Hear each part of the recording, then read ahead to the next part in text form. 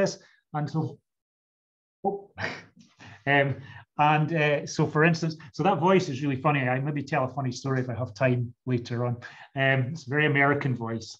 Um, so, um, so Pete Fisher and Dave Unwin said uh, back in 2005, they said geographic information theory articulates the idea of absolute Euclidean spaces quite well, but the socially produced and continuously changing notion of place has proved elusive except perhaps, and I think that's really interesting if we think back to that Trainspotting example, that film, through photography and film. So that film um, actually immerses you in, in the Edinburgh of the 90s that I would recognize and remember as part of part of my growing up. Okay. Um, and it's interesting that back in 2005, when they talked about digital description, they didn't think of the idea of saying that you know, um, a book could also be digital. Text can also be digital. Yeah. Um, and text obviously can capture very well the same things that photography and film can maybe capture. So that kind of brings me to maybe you're saying, well, you know, this is all just a bit overblown. He's he's making a big fuss about nothing. Um, I want to try and convince you, and I want to convince you not in a very complicated way.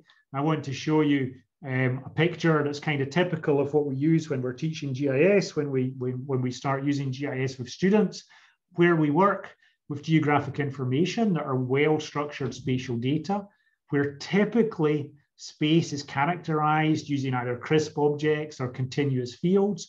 And most importantly of all, the attributes that we have are single valued. So um, an object is, is either a building or a road, and that single value that is given represents a particular institutional viewpoint, perhaps a national mapping agency, perhaps a multinational technology company, and it reflects a particular purpose.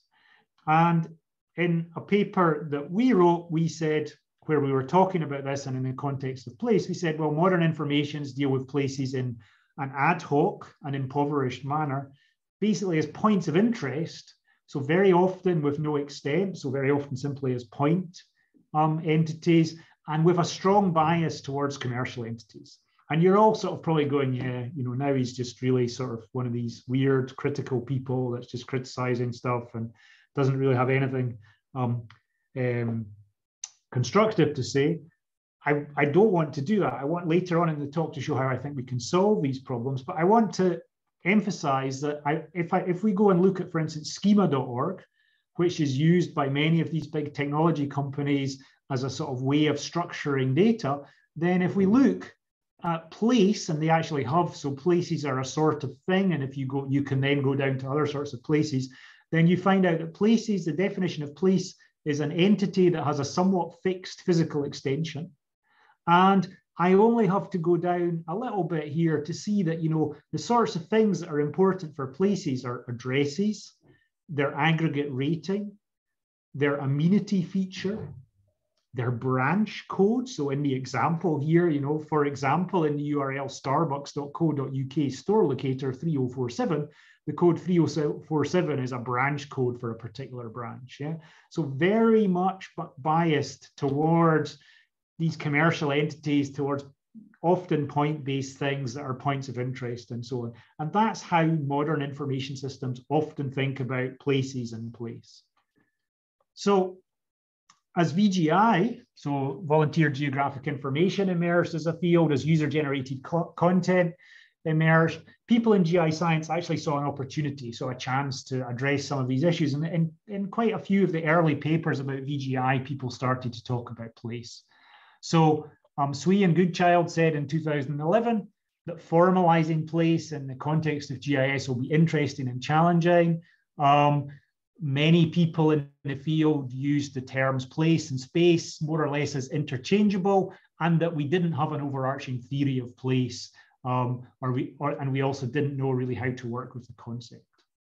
And then Sarah Elwood was a little bit more positive. So she, she said um, that VGI um, invited a more place-centric perspective and might stimulate the development of parallel placial geographic information systems. Yeah, so that kind of brings me um, to the first contribution that I think we can maybe make, and that first contribution is actually to say, well, what is it we're talking about when we talk about a place? What, what would be a definition of place?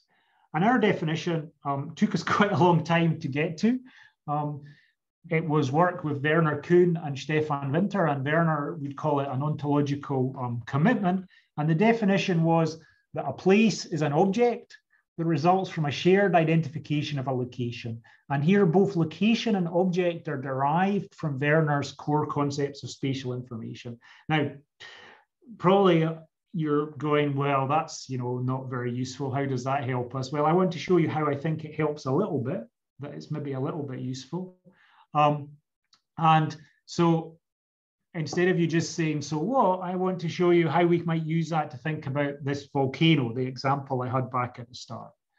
So locations in, in Werner's core concepts are basically regions in space that can be defined through relations. So for example, volcano was actually at the end of Byres Road. So Byres Road is um, a street in Glasgow that runs down the hill near the university. And at the bottom of the bottom of the hill, you move from being one part of the town to another. You move Partick, which is a little bit more gritty, and that's where Volcano was. So at the end of Byres Road is a way of defining a location. We don't need geometry to do that, yeah?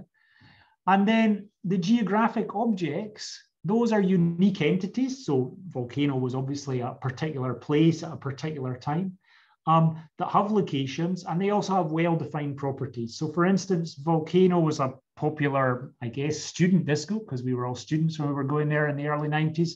Um, and then the shared identification, and I think that's really interesting, that can happen in multiple ways. So Volcano was more than one place, actually. It was a, a place in Trainspotting where its location was moved to Edinburgh. And it was the place where a particular scene was played out with Renton and Diane. And then it was another place when I was a student in Glasgow. Yeah. Um, and the identification I would share with my student colleagues is a different one from all the people that watch the film.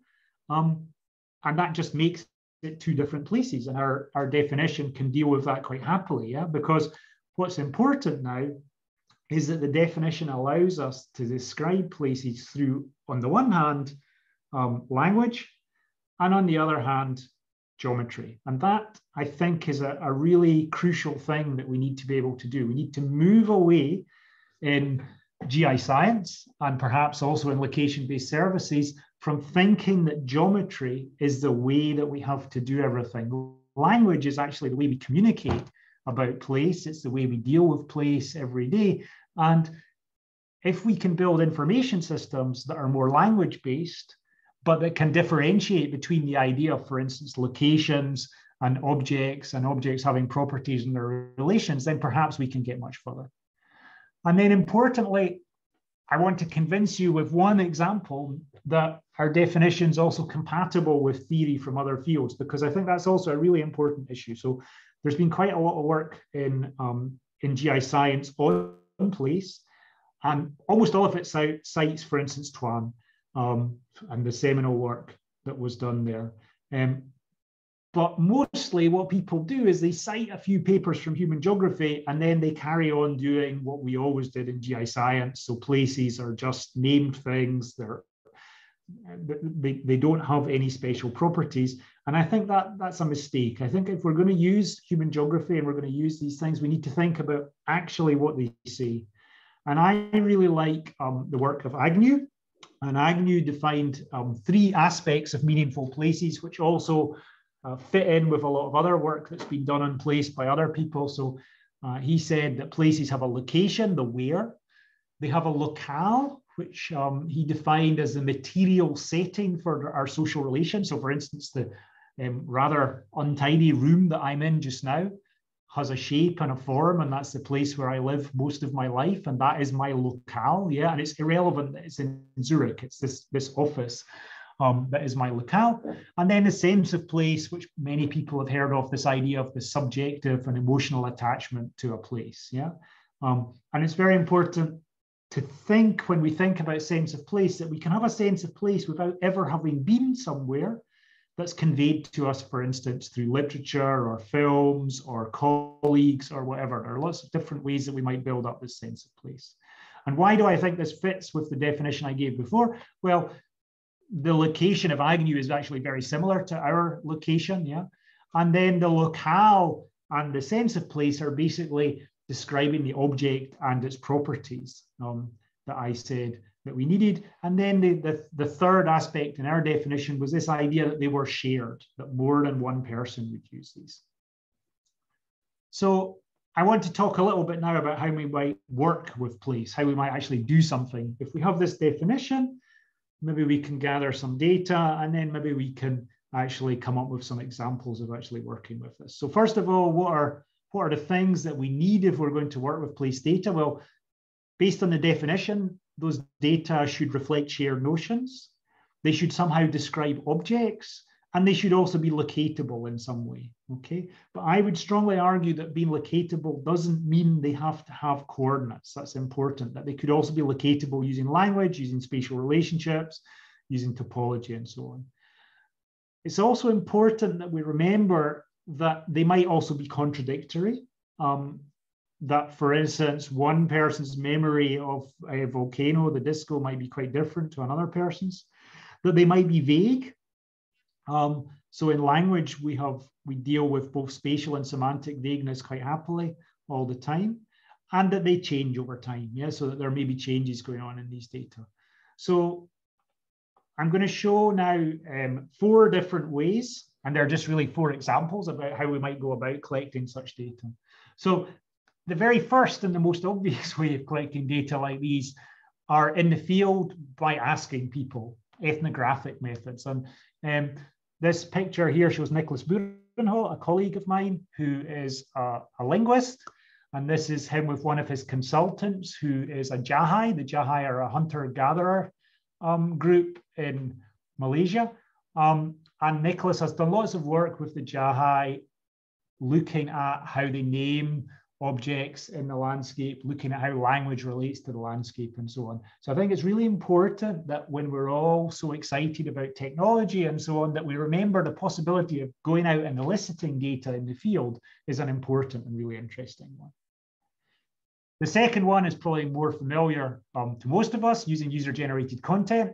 And when I put this example together the other day, I was really excited. So uh, for the people who don't know Glasgow, Glasgow has an underground railway, and the underground railway um, is, uh, you can see, is orange. Um, and people call it the clockwork orange or the subway.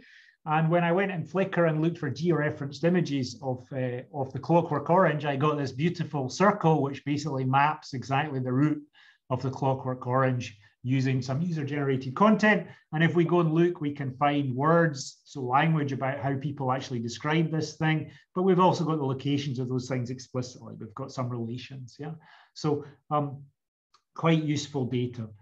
I would like to differentiate between this sort of passively generated content and more um, actively generated content in the sense of what people call VGI. This is a picture from a project in the UK um, called GeoGraph. And the idea behind GeoGraph is to map um, all of the one kilometer grid squares.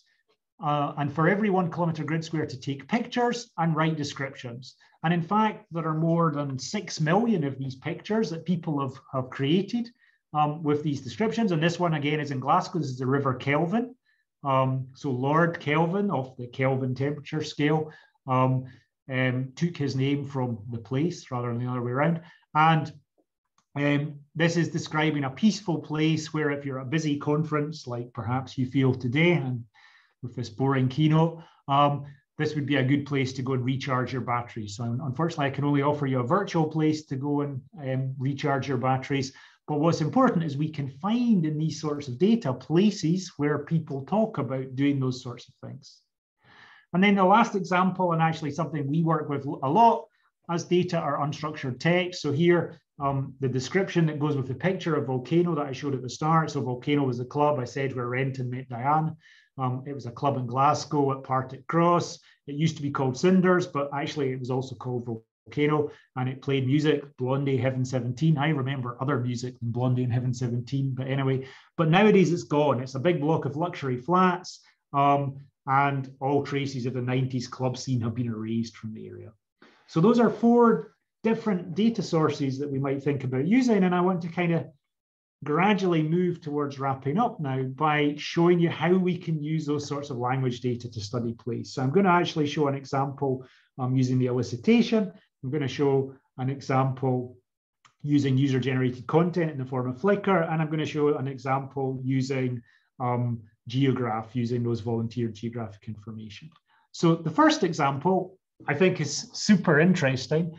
Um, so the Jahai, um, the way that they name places is actually based on the origin story of the Earth that they um, that they believe, and their origin story basically says that lying on the ground along water courses are giants, and all of the giants have names. These giants are called Knell in Jahai, um, and um, if you have a catchment, then the children of the giant are the streams that flow into um, the main stream and so on. So what you can actually do, so Niclas has, so these, these points here, I hope you can see my cursor, but these points here are the names um, that are given by the Jahai.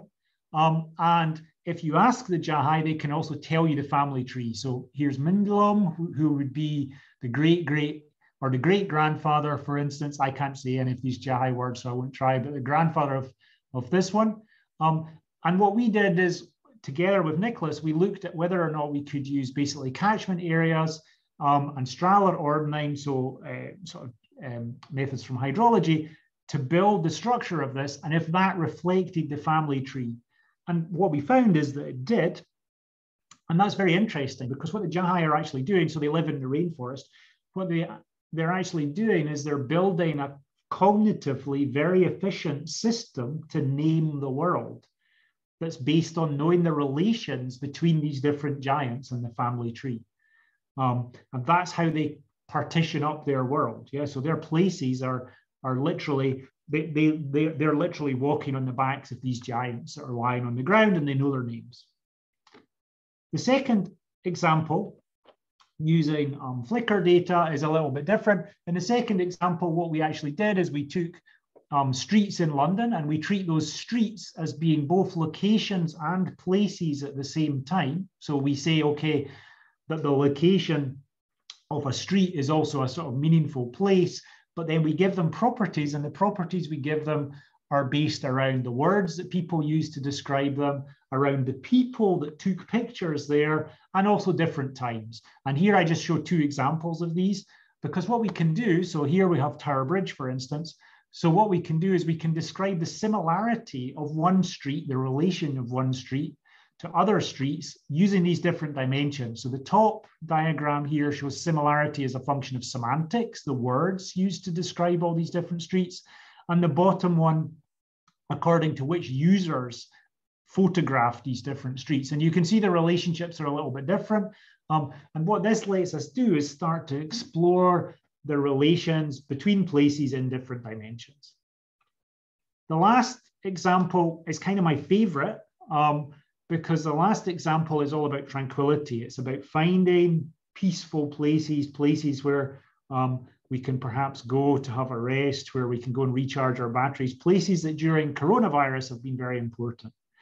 And in GIS, quite a lot of people are interested in tranquility or um, getting away from noise and so on. And what they typically do is they map potential tranquility. And the way that they do that is they map things in the landscape, roads and railways that detract from tranquility and other things that add to it. So seeing, water, um, hearing birds and so on. And what they really produce are maps of potential tranquility. What we have here is, that, is though a map of experienced tranquility. These are thousands of places where people wrote about it being peaceful or tranquil and so on.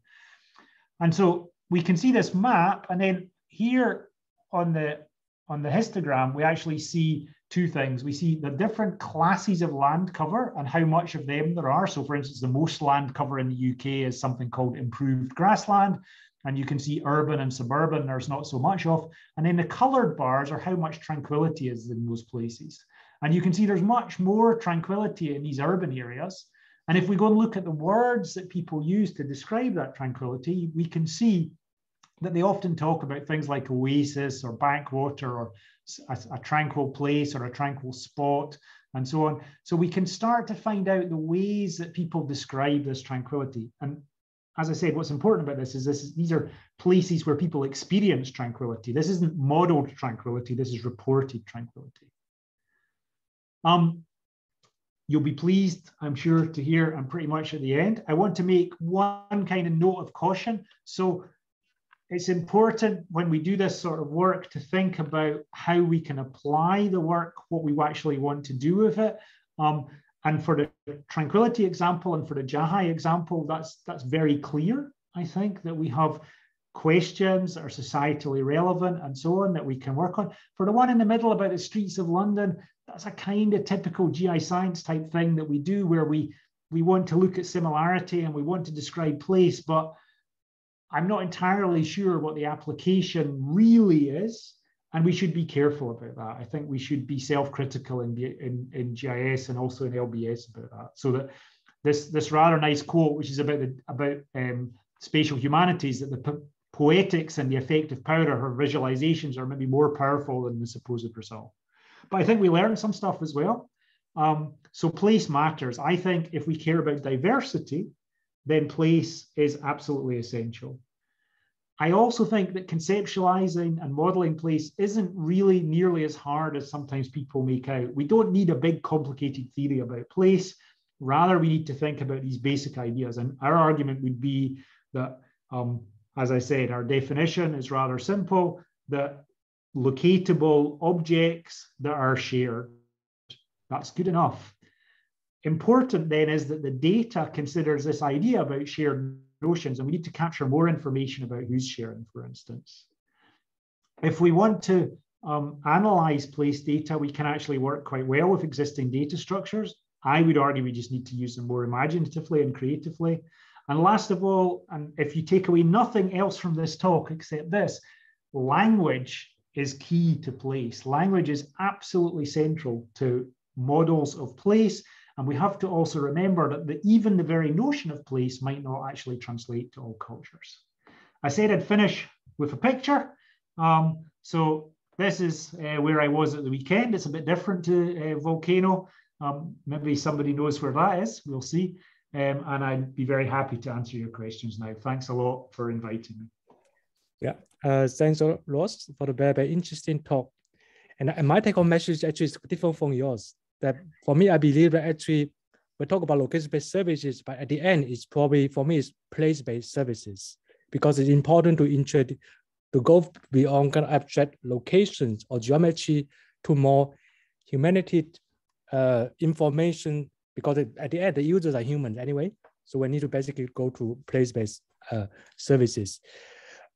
Okay, so just for the audience, if you have any questions, you can type this into uh, to the Q&A. And I see that there's also a question from Baron. Do you want to ask the question yourselves or should I ask the question for you? So Ross, you can also see the question there. Yeah, I'm sure. So, so Baron's question is, would deaf and dumb people have no sense of place? And that's a really good question. Um, um, so, um, oh, Baron, I think you're being turned on. I'm not quite sure what's happening. When you when you go to the the answers one, you can also see this. Yeah. Aha, so should I just keep talking? You have to tell me what I have to do now. I'm confused. Just simply answer the questions because. Okay, so uh, yeah, so so the answer is yes, of course they would. Um, but um, first of all, I don't really know how their sense of, of place would work, but it would work through different. I would assume it would work through different senses. So in some of our work, actually, what we've done is, and I didn't talk about that at all today. We've looked at characterizing landscape using, for instance, um, what what people hear yeah. And I can imagine that for deaf and dumb people, uh, what you smell and what you feel might be more important. Yeah. And maybe to emphasize that, I think that's also a really um, interesting question from another aspect, because from, from the per perspective of being European, we think of visual as always being the most important thing. Yeah. But some of the people I work with, so in fact, Niclas um, and the Jahai, it's not necessarily the case that vision is always the most important sense in characterizing um, the world around you. I don't want to say place because I don't want to transfer place as a concept to everybody else. So um, the answer is absolutely deaf and dumb people would have a sense of place. And I think it's important that if we build systems, we think about ways where we might deal with that. And that's the whole point of trying to include diversity. I hope that kind of answers the question. Uh, now probably we go to Gail. So Gail, you, you can just unmute yourselves. Yeah, thanks, Ross. That was uh, a really excellent and and uh, yeah, thought thought exposing uh, discussion. My question would be about your definition, because I, I, when I understand you correctly, you really you really try to promote the idea that we should not be fixed on geometry only, so to say, to, but to rather have a more holistic concept. Yeah, understanding uh, space at the end of the day. Now, when you say place is an object, then immediately the connotation of a crisp object comes across. Yeah. Now, so- uh, that's the word I stumbled across. I mean, I like the definition, but the, the, the term object has that connotation immediately. Can't you replace object with uh, a different term, so to say? make it um, easier? Well, so so well maybe so maybe maybe the answer is yes and no. So in the paper, we actually talk about that. And so objects don't need to be bounded. Objects can be vague. But in order for them to be shared, they need to be identifiable. Yeah. So um, for instance, this mountain, uh, which um, is the Eiger, there's the Mittelegi Ridge up the Eiger. Um, we don't need to agree on where the mountain starts and stops to agree that you know it's one of the most imposing spectacular mountains in the Alps. I think most people, many people would agree upon that. Yeah. So the boundaries are not so important, but we do need to agree that we're talking about the same object, and that's what we mean when we when we we say object. So we're, we don't mean things with crisp borders. We mean yeah, yeah. I, I get the argument, but but still, I think there's this threat of getting into this what you try to avoid that we are thinking about geometry then and coordinates at the end. So I, I liked actually the term entity when you explained what you mean in your definition. Uh, so could that be a replacement?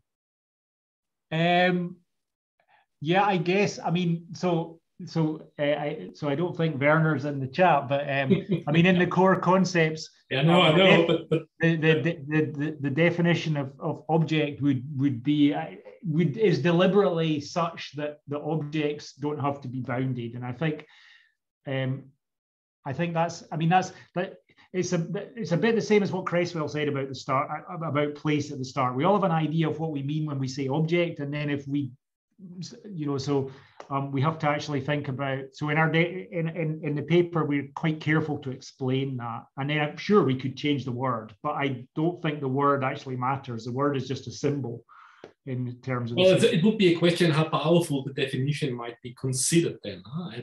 But but yeah, I I guess it's a matter of discussion. But the other thing I'm, I'm, I really liked was that you pointed out that the way we understand places might be really depending on.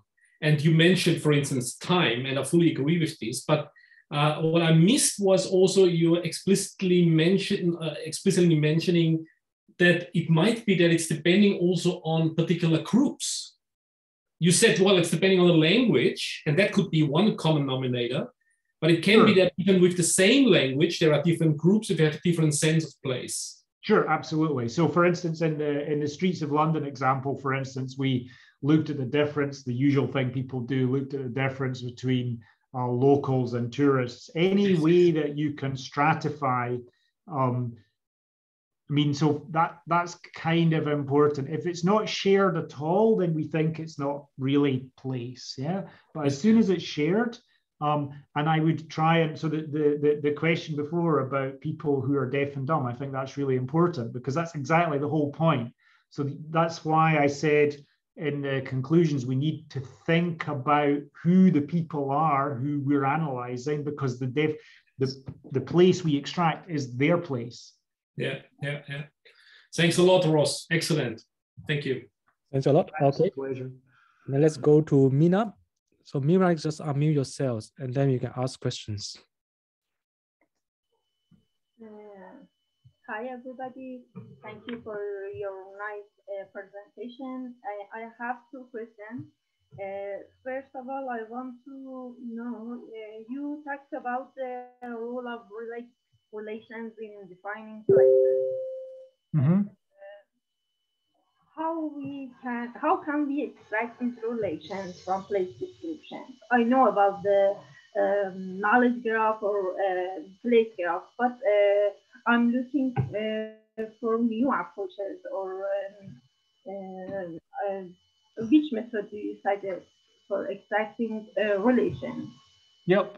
Um, so that's an interesting question that I think is is very important. So um, one way is, for instance, if we characterize places by looking at their similarity and in which dimensions are similar. So, for instance, those tranquil spots that I showed you, um, we can look at the semantics of those tranquil tranquil places and then look at which ones have similar semantics. So are they are they can what, what are the things that make them tranquil? Yeah, so those that would be an example of relations between places. So I think it's really important that we don't think about relations as only being spatial or geometric, but also semantic, or also, and maybe so that comes back to the question before, in the sense of the people who are describing the places. Yeah, so the the groups, for instance.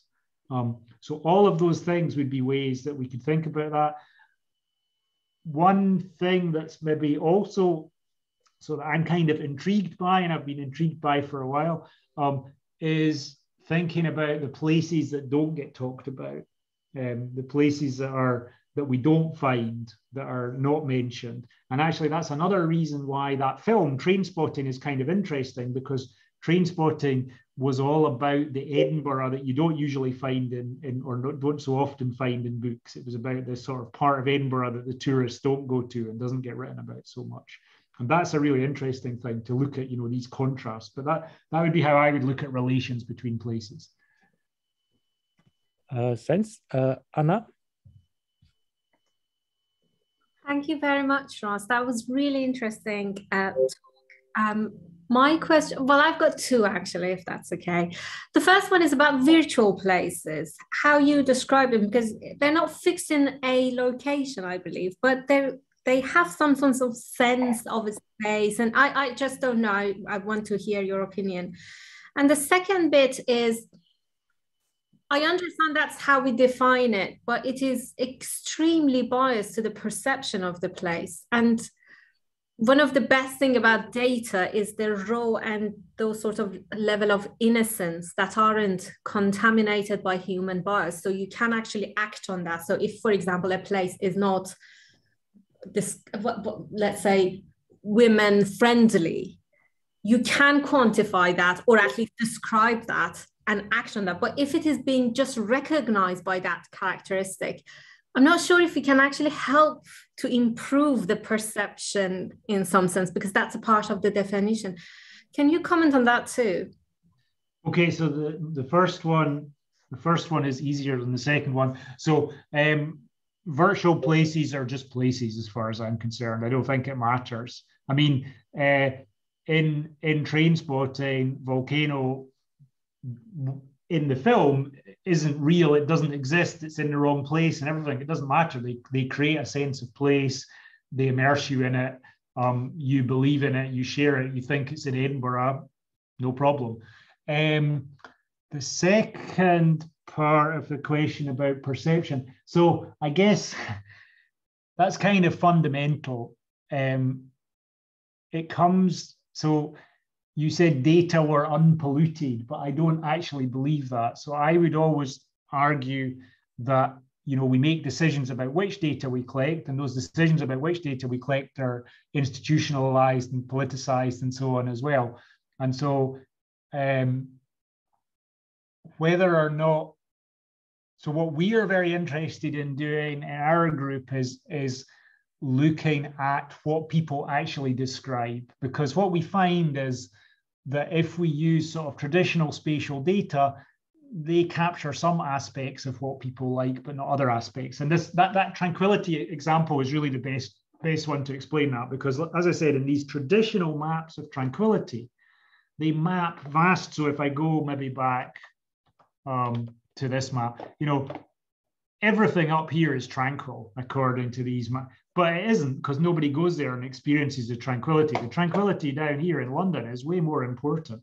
And if we can identify the places that people actually experience as being tranquil, that really matters. And what we found when we did that is we found that those places were um, very commonly described through contrast. So it was a peaceful place despite, even though, yeah.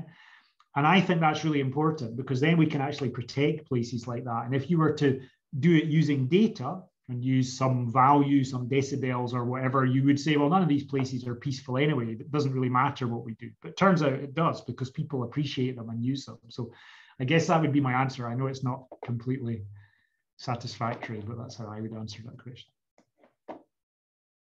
Okay, can I ask a, a very short follow-up? I, I, appreciate that data um, element is, is always biased, who collected, what collected, but at least we, we are aware of the bias because it's not inherent in the definition. I, I'm a little cautious about that because, for example, if I measure temperature, I know that the temperature is not going to be biased. The fact that I collect that temperature, maybe, but if you define place based on the perception, I think that's going to remain biased forever. But well, I guess my really simple answer would be place is all about perception. You can't, so you know, if if we measure the temperature, so actually let's go back to my picture at the end. Um, it was really, really, really cold there, probably for most of you. And I thought it was fine. And my friend had his shorts on. Um, so measuring the physical temperature doesn't actually tell us what different individual people would perceive and value about that place. And I so I think we have to be quite careful about. So I totally agree that you we can measure things, but transferring those measurements and temperature is a great example um, to how we actually feel about a place is quite difficult. Okay. Uh, any other questions? Yeah, I see Urška. Let me ask you to yeah, so Urška, now you can talk. Hi, Ross. That was really interesting. I kind of have a maybe weird question because, uh, well, linked to my keynote, I don't know if you were there uh, when I was talking. I was teaching, unfortunately. Well, it's all about animal movement, right? Yeah. And you're talking about perception of space. And mm-hmm. um, how can, I mean, we don't know what animals think because we cannot ask them. But we do know, for example, that migratory animals return to the same location to uh, winter, for the same location to build a nest in the uh, in the summer. Um, that, for example, you have bats foraging on the same tree, even if there are like 20 other trees around. So maybe they have a, some kind of perception of place. I don't know. So what, what's your thought on this? So can this kind of thing be applied in, in animal movement and, and can it be you know extended beyond humans? It's a crazy question i know sorry. Well, it's not such a crazy question but i think sometimes it's good to say i don't know and i don't know. Um, i think like in ecology you have for example this theory about central place foraging right? Which yeah. is a methodological approach which is that uh, you need to account that the animal always goes to a central place. So for example if you have a bird sitting on the nest and then go and forage or feed or whatever, it always has to return to the, to the nest because it has to sit on the eggs, right? So when you're modeling the, the movement across space, you have to have this null model that is going to prefer the nest and the surroundings of the nest versus the rest because it's always returning there right? So this is kind of a methodological equivalent of glacial analysis, maybe. I don't know. I'm just throwing this so, out because I, I, thought it was really interesting that maybe with this kind of a connection. So I think that the interesting question would be in this context, how do animals communicate about this? Because the stuff that we're doing is all about language. Um, and I mean, so if I look out, outside my office, so how Haosheng knows that there are some meerkats that hang out, and I know that the meerkat researchers um, look at how they communicate. Um, and I'm certainly not going to make the claim that the meerkats don't communicate about places in ways that are not dissimilar from humans. But I think that would be, I guess that would be, at least from, from the per perspective I'm coming from, we need to understand more about how the animals are communicating about it. And then it might be indeed quite an interesting way of looking at things. Yeah, okay. Well, thanks anyway. So, yeah. like I said, crazy question. Thanks. Thanks, uh, Urška. Uh, yeah, I see that there's also another hand. So let me try to allow it as well. Uh, Perry, do you want to ask as well? So basically, Perry's question is on the Q&A that does people's understanding of place, places created through language that is more than created visually, for example, by maps? So that's that's an interesting question. Um, I have a map on the uh, wall of my office, which um, is a map of underground London, and it's uh, it's a very beautiful map. It's called London Subterranea by Stephen Walter, and basically it's a map of lots of stuff that's underground, but it's covered in writing. So it's absolutely covered in words, and that's the way that the author chooses to convey a sense of place about all these underground places in London. And I would argue that maps, so more traditional cartographic products, I, I think for most people don't convey nearly as much information as language about a location. I would I would say that they're a little bit different. Um, but that but of course people do and and they deliberately do that they try to create maps that convey a sense of place yeah but very often when they do that they add annotations to the map they add lots of little sentences or explanations. That's this that map I'm thinking about is covered in those. Okay, uh, thanks a lot. Uh, Ross, actually, I also have a question regarding your definitions. You emphasize a term called shared. And for me, I think this is basically very, very important when, when you communicate with humans, human to human, this is very, very important. But very, very often, we communicate with machines. And there, do we need to be, to, to, to, to basically, do we need to be, have this, this shared by with others? Because my, my understanding is that basically for me, okay, oh, that's my home and that's also a place and that's probably probably all my own interpretation only. So my question for you is that, is your place definition too narrow? Um, in in what sense? Because your home's only your home. Yes. So what I mean is that, for example, if you think about the services, so basically, you might try to model or what is this this location mean for me and also for the users. And there, then the, basically the, the definition of place doesn't need to be shared with others. So well, you, I get, I, I, so, okay, I, I, I think I get your point. If I get your point correctly, at least needs to be shared between you and the machine you're communicating with, and then it's already shared. So, um, you know, a, a, a, meaning, a, a meaningful place could be really, for me at least, it could be simply somewhere that I and one of my children go that's special for us, or it doesn't really matter who the sharing is with. But if there is no sharing, um, and in this context with with between you and a machine, then it sort of all breaks down. Yeah. Okay. Yeah. Thanks a lot. I guess we don't have time for other further questions. Thanks a lot for Ross for the for, for the interesting talk and also for the for the Q and A. So with this, we come to the end of the day. I'm not sure about you. For me, I feel exhausted we have a, a very dense program, a lot of interesting talk, a lot of ideas and so on. For me, I need a break. I think probably many of you also the same. But, but remember tomorrow we have another days of interesting talk and also keynotes. And also basically, basically we have the best paper sections. So tomorrow we will start from uh, 9 uh, a.m. Uh, to GMK, basically GMT. So basically, just remember to log in again, and I hope to see you tomorrow.